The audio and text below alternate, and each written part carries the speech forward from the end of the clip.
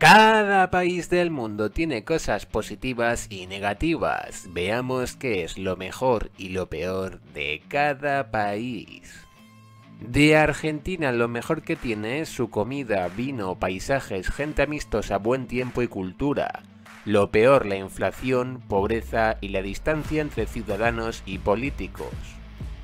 Lo más positivo que tiene Estados Unidos son sus salarios y sus atractivos turísticos, lo más negativo su transporte público y el sistema sanitario.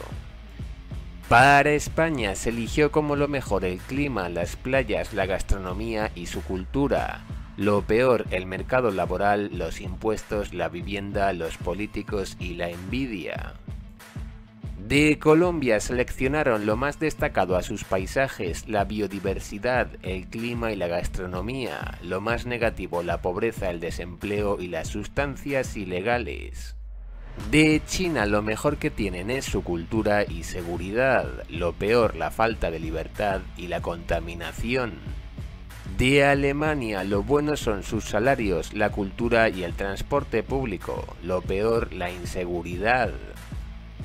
De Chile destaca la educación, su gente cálida, la vida social y su oferta turística, lo peor el sistema de pensiones y de salud, el transporte público y la gestión del agua. Para Australia lo mejor es la calidad de vida, la seguridad y el ambiente amigable, lo peor son las enormes distancias geográficas. De Burundi lo mejor es nada, lo peor es todo. En México lo mejor es su diversidad de recursos naturales, riqueza cultural e histórica, gastronomía, geografía privilegiada y clima. Lo peor la inseguridad, la policía y la pobreza. De Italia destaca la cultura, la comida y la oferta turística, lo peor el transporte público y la burocracia.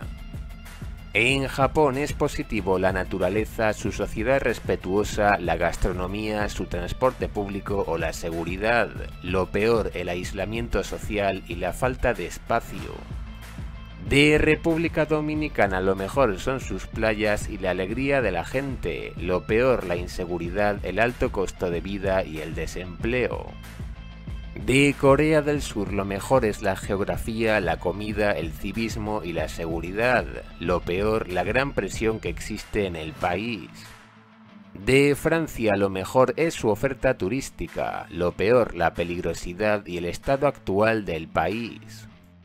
De Venezuela destacan sus mujeres y sus paisajes, lo peor es la inseguridad, la inflación y la política.